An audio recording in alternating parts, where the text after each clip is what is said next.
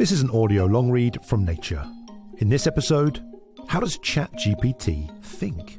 Psychology and neuroscience crack open AI large language models. Written by Matthew Hutson and read by me, Benjamin Thompson.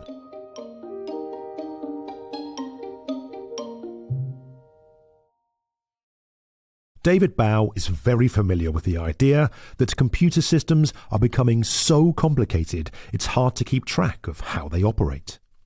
I spent 20 years as a software engineer working on really complex systems, and there's always this problem, says Bau, a computer scientist at Northeastern University in Boston, Massachusetts.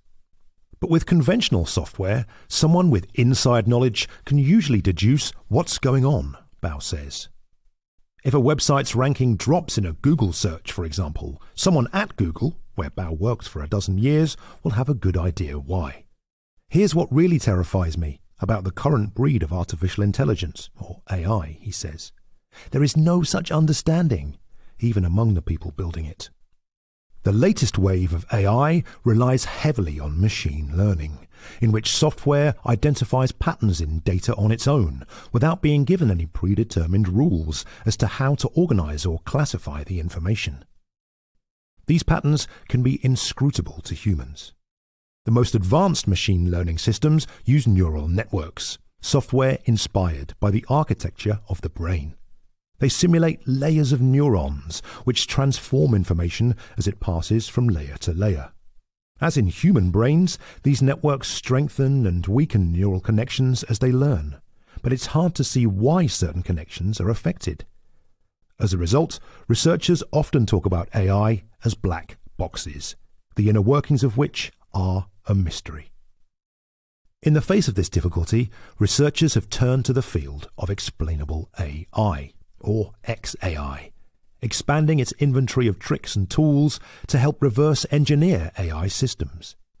Standard methods include, for example, highlighting the parts of an image that led an algorithm to label it as a cat, or getting software to build a simple decision tree that approximates an AI's behavior. This helps to show why, for instance, the AI recommended that a prisoner be paroled or came up with a particular medical diagnosis.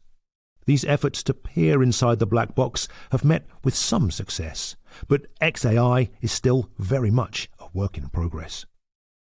The problem is especially acute for large language models, or LLMs, the machine learning programs that power chatbots such as ChatGPT. These AIs have proved to be particularly inexplicable, in part because of their size. LLMs can have hundreds of billions of parameters, the variables that the AI uses internally to make decisions. XAI has rapidly grown in the past few years, especially since LLMs have started to emerge, says Mor Geva, a computer scientist at Tel Aviv University in Israel. These inscrutable models are now taking on important tasks. People are using LLMs to seek medical advice, write computer code, summarize the news, draft academic papers, and much more. Yet it is well known that such models can generate misinformation, perpetuate social stereotypes, and leak private information. For these reasons, XAI tools are being devised to explain the workings of LLMs. Researchers want explanations so that they can create safer, more efficient, and more accurate AI. Users want explanations so that they know when to trust the chatbot's output. And regulators want explanations so that they know what AI guardrails to put in place. Martin Wattenberg, a computer scientist at Harvard University in Cambridge, Massachusetts, says that understanding the behavior of LLMs could even help us to grasp what goes on inside our own heads. Researchers have called LLMs stochastic parrots, meaning that the models write by probabilistically combining patterns of text they've encountered before, without understanding the substance of what they're writing. But some say more is going on, including reasoning and other startlingly human like abilities. It's also the case that LLMs can behave erratically. Last year, the chatbot built into Microsoft's search tool Bing famously declared its love for the technology columnist Kevin Roose and seemed to try to break up his marriage. A team at the AI company Anthropic based in San Francisco, California, highlighted the reasoning powers of AI in a 2023 study that attempts to unpick why a chatbot says what it says. Anthropic's researchers scaled up a common approach to probe an LLM that had 52 billion parameters to reveal which bits of the training data it used while answering questions. When they asked their LLM whether it consented to being shut down, they found it drew on several source materials with the theme of survival to compose a compelling response. The researchers described the model's behavior as role playing, doing more than parroting, but less than planning. Some researchers also think that these neural networks can construct models of the world, fleshed out visions of the 3D reality that gave rise to their training data. Harvard University computer scientist Kenneth Li, working with Bau, Wattenberg, and others, trained an LLM from scratch to play the board game Othello, in which opponents place black and white discs on a grid. The researchers fed their model, called Othello GPT, sequences of moves in text form from past games until it learnt to predict the likely next moves. The team successfully trained a smaller model to interpret the internal activations of the AI and discovered that it had constructed an internal map of the disks based on the text descriptions of the gameplay. The key insight here is that often it's easier to have a model of the world than not to have a model of the world, Wattenberg says. Because chatbots can chat, some researchers interrogate their workings by simply asking the models to explain themselves. This approach resembles those used in human psychology. The human mind is a black box. Animal minds are kind of a black box, and LLMs are black boxes, says Thilo Hagendorff, a computer scientist at the University of Stuttgart in Germany. Psychology is well equipped to investigate black boxes, he says. Last year, Hagendorff posted a preprint about, quote, machine psychology, end quote, in which he argued that treating an LLM as a human subject by engaging in conversation can illuminate sophisticated behaviors that emerge from simple underlying calculations.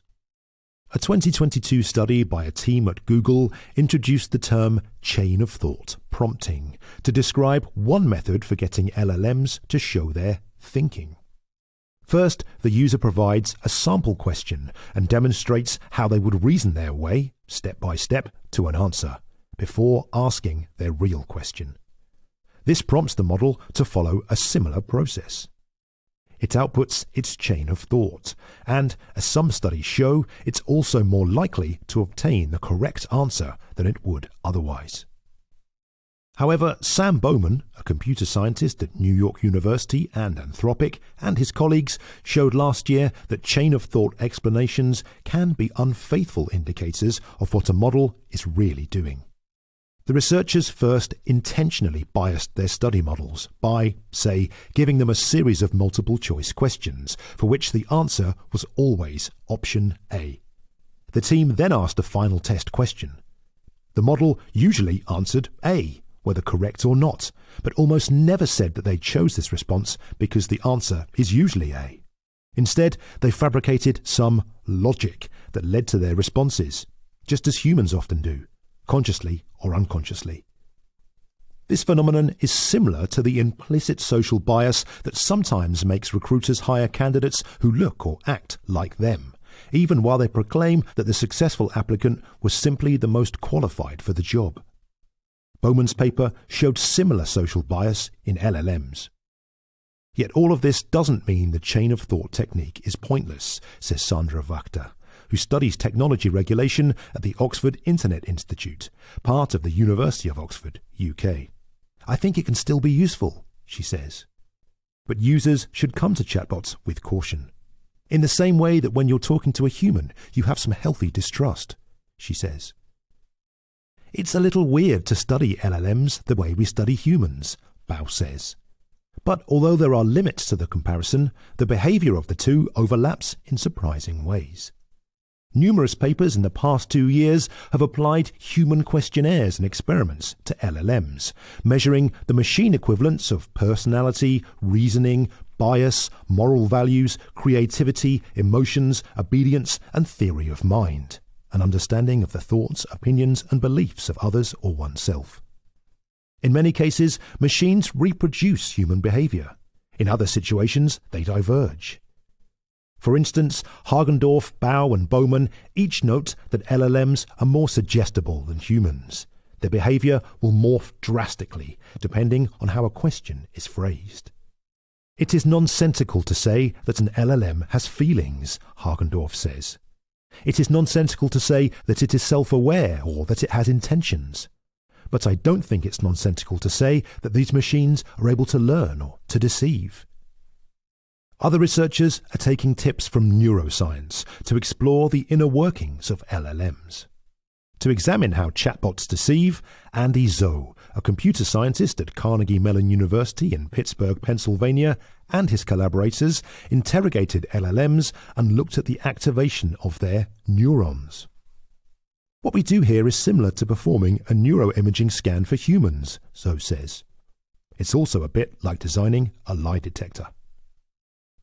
The researchers told their LLM several times to lie or to tell the truth and measured the differences in patterns of neuronal activity, creating a mathematical representation of truthfulness. Then, whenever they asked the model a new question, they could look at its activity and estimate whether it was being truthful, with more than 90% accuracy in a simple lie detection task. Zou says that such a system could be used to detect LLM's dishonesty in real time, but he would like to see its accuracy improved first. The researchers went further and intervened in their model's behavior, adding these truthfulness patterns to its activations when asking it a question, enhancing its honesty. They followed these steps for several other concepts too. They could make the model more or less power seeking, happy, harmless, gender biased, and so on. Bau and his colleagues have also developed methods to scan and edit AI neural networks, including a technique they call causal tracing. The idea is to give a model a prompt such as Michael Jordan plays the sport of, and let it answer basketball. Then give it another prompt such as blah blah blah plays the sport of, and watch it say something else. They then take some of the internal activations resulting from the first prompt and variously restore them until the model says basketball in reply to the second prompt to see which areas of the neural network are crucial for that response. In other words, the researchers want to identify the parts of the AI's brain that make it answer in a given way. The team developed a method to edit the model's knowledge by tweaking specific parameters and another method to edit in bulk what the model knows. The methods, the team says, should be handy when you want to fix incorrect or outdated facts without retraining the whole model. Their edits were specific. They didn't affect facts about other athletes, and yet generalized well. They affected the answer, even when the question was rephrased. The nice thing about artificial neural networks is that we can do experiments that neuroscientists would only dream of, Bau says. We can look at every single neuron. We can run networks millions of times. We can do all sorts of crazy measurements and interventions and abuse these things. And we don't have to get a consent form. He says this work got attention from neuroscientists hoping for insights into biological brains. Peter Hase, a computer scientist at the University of North Carolina in Chapel Hill, thinks that causal tracing is informative but doesn't tell the whole story. He has done work showing that a model's response can be changed by editing layers even outside those identified by causal tracing, which is not what had been expected. Although many LLM scanning techniques, including Zou's and Bau's, take a top down approach, attributing concepts or facts to underlying neural representations, others use a bottom up approach, looking at neurons and asking what they represent. A 2023 paper by a team at Anthropic has gained attention because of its fine grained methods for understanding LLMs at the single neuron level. The researchers looked at a toy AI with a single transformer layer. A large LLM has dozens. When they looked at a sublayer containing 512 neurons, they found that each neuron was polysemantic, responding to a variety of inputs. By mapping when each neuron was activated, they determined that the behavior of those 512 neurons could be described by a collection of 4,096 virtual neurons that each lit up in response to just one concept. In effect, embedded in the 512 multitasking neurons were thousands of virtual neurons with more singular roles, each handling one type of task. This is all really exciting and promising research, Hase says, for getting into the nuts and bolts of what an AI is doing. It's like we can open it up and pour all the gears on the floor, says Chris Olah, a co-founder of Anthropic. But examining a toy model is a bit like studying fruit flies to understand humans. Although valuable, Zou says, the approach is less suited to explaining the more sophisticated aspects of AI behavior. While researchers continue to struggle to work out what AI is doing, there is a developing consensus that companies should at least be trying to provide explanations for their models, and that regulations should be in place to enforce that. Some regulations do require that algorithms be explainable.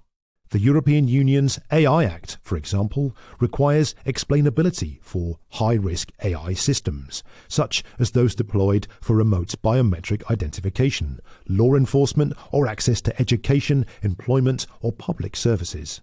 Wachter says that LLMs aren't categorized as high risk and might escape this legal need for explainability, except in some specific use cases.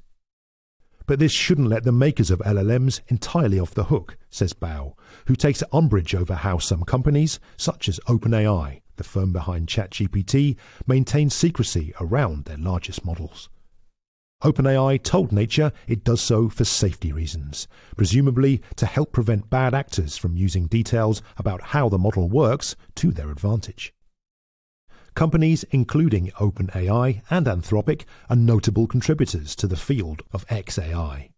In 2023, for example, OpenAI released a study that used GPT 4, one of its most recent AI models, to try to explain the responses of an earlier model, GPT 2, at the neuron level. But a lot more research remains to be done to unpack how chatbots work, and some researchers think that the companies that release LLMs should ensure that happens. Someone needs to be responsible for either doing the science or enabling the science, Bau says, so that it's not just a big ball of lack of responsibility. To read more of Nature's long-form journalism, head over to nature.com/news.